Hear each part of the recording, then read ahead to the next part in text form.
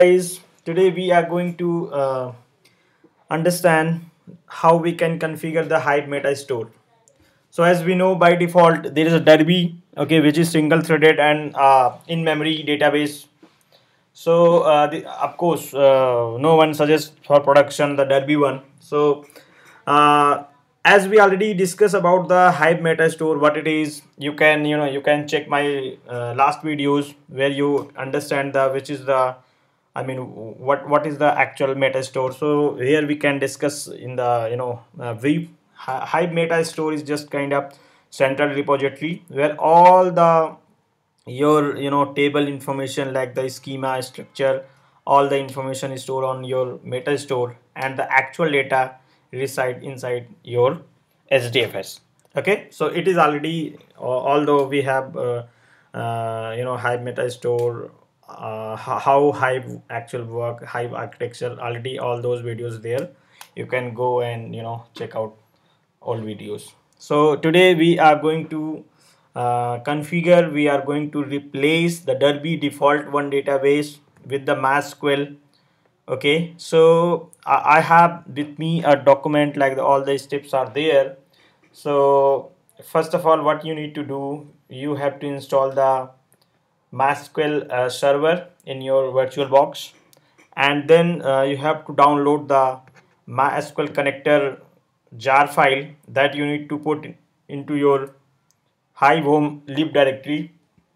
Okay so even uh, you can check the my last video where uh, already you know how we can install the apache hive on virtualbox so you you will understand what what the hive home hive home is nothing just a hive directory okay? And then uh, this is the some uh, config configuration which we need to mention into our hive hyphen site.xml file. So okay let me go you know my virtual box and let me show you how we can do. So first of all what we need to do we need to install the uh, MySQL server. So for that you have to type sudo apt-get install mysql server. This is the command. After hit the enter will prompt for a password and uh, that password you should you know uh, note down somewhere because that password we need to put into our uh, hyphen site.xml file. All right? Okay so as i already installed this mysql server with me so i'm not uh, you know just uh, going to install again. So it maybe take more time on in video. Okay. So here I can do I can just show you my MySQL is up to running up and running. Okay. So this is the you can check. Excuse, sorry spelling mistake all right. So this is the what I have. This is the all the tables and database inside this uh, MySQL. So okay well, this is the first step is done. I have uh, already installed the MySQL in my virtual box. The next step is uh, you have to download the MySQL connector jar file and then you need to copy this file inside Hive Home lib directory lib so I have already downloaded this file and this is the my jar file. And in in my last video you can see we have installed Apache Hive. So this is Apache Hive and we need to put the jar inside lib directory. Okay so you can see I have already put it there. Let me show you. So this is the MySQL connector. Okay so this is the one so two steps are complete. The next step is we have to edit or create new file hive site.xml inside conf directory hive home conf directory. Okay? So let me go back and apache hive then conf and there is a hive site.xml file. Okay? Let me open it okay so all the same parameter i have already pasted there okay. We will discuss one by one about that parameter and check uh, this is the default password I'm giving for this virtual box. You can you know mention any of the password whatever you want. Okay so let's discuss uh, there is a property one proper to define one property you this is the way to define the, all the configuration in apache hive. So there is a name and value.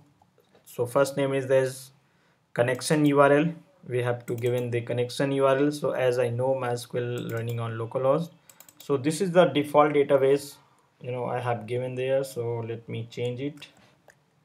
New meta store. Okay and this is the one where the if it the database will not exist it will create. Okay? As we are using the version up 2.2x of apache hive so we need to run you know schema tool which will uh, generate for us the database. Okay? So the next thing is that connection username the username of your mysql password password of your uh, mysql. And here we are mentioning the connection driver name. This is the our uh, jar file the package connection driver name which is we have already put it into uh, hive home uh, lib directory. And this is con directory. We are creating the hive site.xml okay so after these property we will save it. And uh, what we need to do we just go to terminal and uh, just type the hive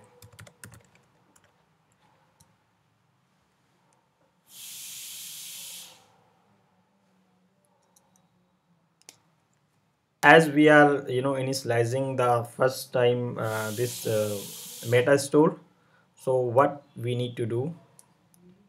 We have to run you know uh, run the schema tool as well. Let me show you. One minute. Hang on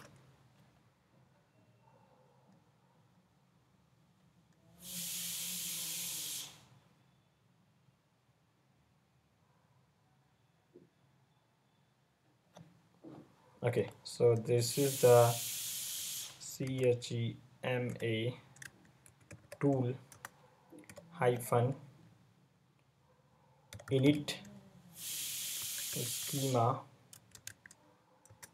hyphen db type mysql.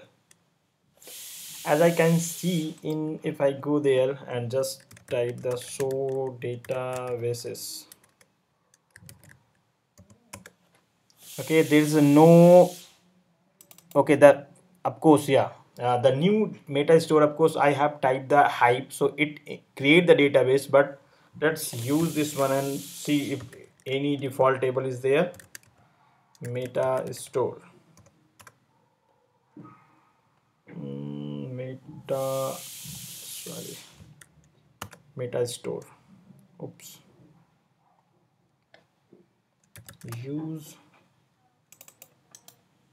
copy and paste. Let's type the show tables. There is no table right? So let me run the schema this one and after this we will check the table. After this we will check the database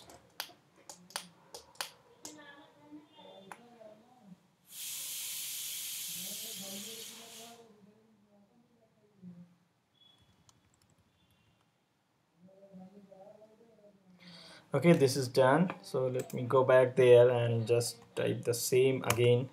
So you can see there is a 57 table. The default all the table of the meta store is created there. Okay so and so let me go and type the hive. So this is the what we have MySQL you know meta store. We have configured MySQL as a meta store of Apache Hive. So it, it comes with the default one Derby. So what we did, we replaced that and install the MySQL as a, our Apache Hive meta store, which will store all the information about our tables schema and the actual data will be reside inside hdfs okay so let me just type the show databases.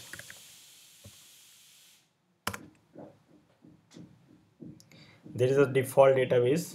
Okay so let's check few of things inside this MySQL.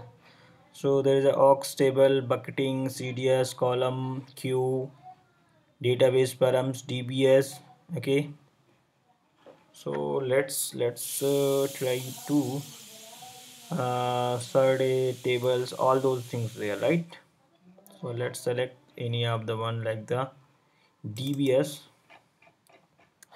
select asterisk from DBS you can see there is a Hive default database. Okay so let me go there and try to create create database MySQL meta store.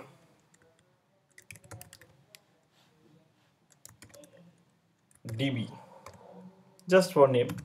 Okay. Oh what happened? Create database. Sorry i'm mistake spelling. Okay so this is now what i can do. So databases oh again i am doing sorry guys.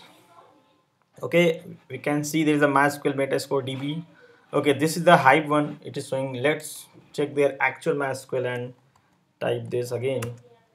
So as we can see there is a path of this you know hdfs path for this database. All the tables you know all the table information all the you know actual data how many tables reside inside this hdfs path. This is the this is the default one. Hive warehouse mysql db.db is this is the default directory and this is the name of that.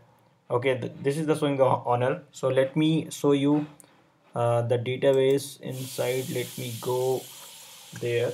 Okay. This is actual hdfs so let me go there just this one. And this is i can see mysql metastore db.db this is the directory created.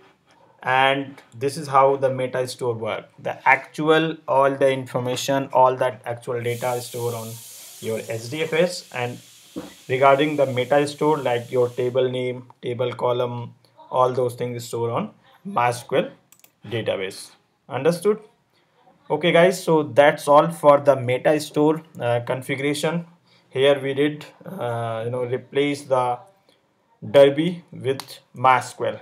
Okay we will uh, discuss about more you know tables and all the external managed table in the next video. Thank you guys